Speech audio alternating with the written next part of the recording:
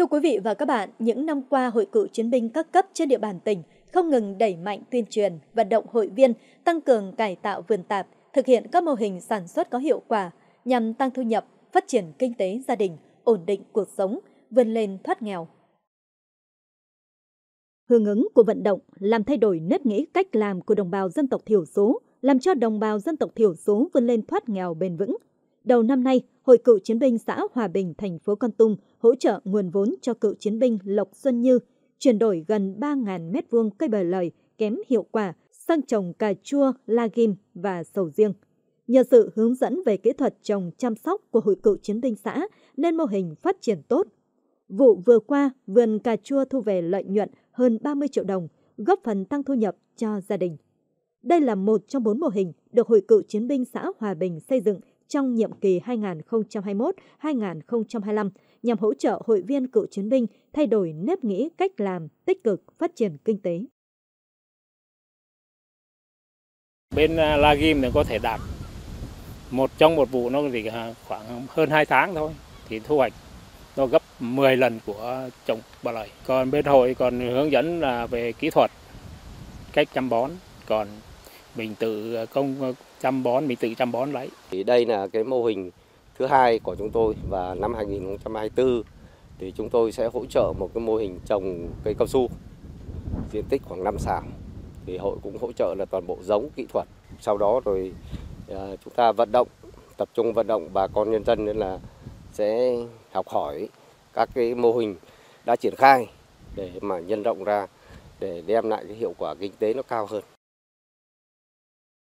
Cách đây 6 năm, từ nguồn vốn vay ưu đãi 20 triệu đồng của chi hội cựu chiến binh tổ dân phố 8, thị trấn Đắc Hà, huyện Đắc Hà, ông Đồng Xuân Tòng mạnh dạn chuyển đổi 7.000 mét vuông đất trồng lúa kém hiệu quả sang trồng các loại cây ăn quả như bưởi da xanh, ổi thái, nhãn lồng. Sản phẩm bưởi da xanh của gia đình không chỉ được thị trường của huyện ưa chuộng mà còn bán ở các tỉnh thành trong khu vực. Hiện trung bình mỗi năm trừ chi phí, gia đình ông thu về hơn 200 triệu đồng.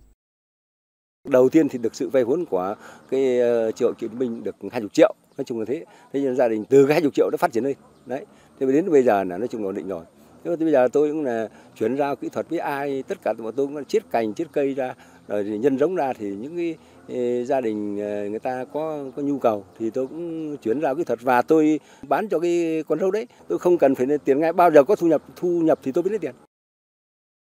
với tinh thần đoàn kết, hỗ trợ, giúp đỡ hội viên cựu chiến binh nâng cao đời sống, từng bước giảm nghèo bền vững. Những năm qua, các cấp hội cựu chiến binh trên địa bàn tỉnh tích cực tuyên truyền vận động hội viên phát triển kinh tế, chuyển đổi các loại cây trồng vật nuôi phù hợp với đặc thù của địa phương, đồng thời hỗ trợ hội viên tiếp cận các nguồn vốn vay ưu đãi để đầu tư sản xuất kinh doanh. Nhờ đó, nhiều hội viên cựu chiến binh đã thay đổi nhận thức, mạnh dạn xây dựng các mô hình phát triển kinh tế hiệu quả, vươn lên thoát nghèo bền vững. Đến nay, các cấp hội cựu chiến binh trên địa bàn tỉnh hỗ trợ gần 970 triệu đồng để giúp hội viên cựu chiến binh phát triển các mô hình kinh tế hộ gia đình. Hội viên cựu chiến binh các cấp đang làm chủ 8 doanh nghiệp, 9 hợp tác xã, 10 tổ hợp tác và 250 trang trại, gia trại. Từ năm 2017 đến 2022, các cấp hội cựu chiến binh tỉnh phối hợp tham gia quản lý hơn 240 tổ tiết kiệm và vay vốn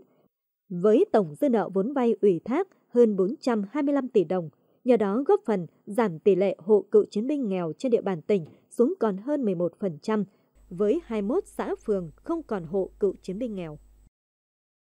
Các hoạt động thực tiễn công tác hội đó là vấn đề quan trọng hàng đầu mà chúng tôi sẽ tiếp tục thực hiện. Cái thứ hai á, là gắn cái việc học trước làm sau thông qua các cái hoạt động thực tiễn, uh, xây dựng các cái mô hình À, trong cựu chiến binh, đặc biệt là về vấn đề cái thực hiện cái phong trào cựu chiến binh giúp nhau giảm nghèo, làm kinh tế giỏi, góp phần xây dựng nông thôn mới, thực hiện tốt các cái chương trình mục tiêu quốc gia, à, góp phần cùng với địa phương à, thúc đẩy cái sự phát triển và kinh tế ổn định về an ninh chính trị. Với những việc làm thiết thực của Hội cựu chiến binh các cấp giúp nhiều gia đình hội viên nghèo trên địa bàn tỉnh vượt qua khó khăn, đầu tư phát triển kinh tế, ổn định cuộc sống, góp phần chung tay cùng chính quyền địa phương thực hiện tốt công tác giảm nghèo, đảm bảo an sinh xã hội.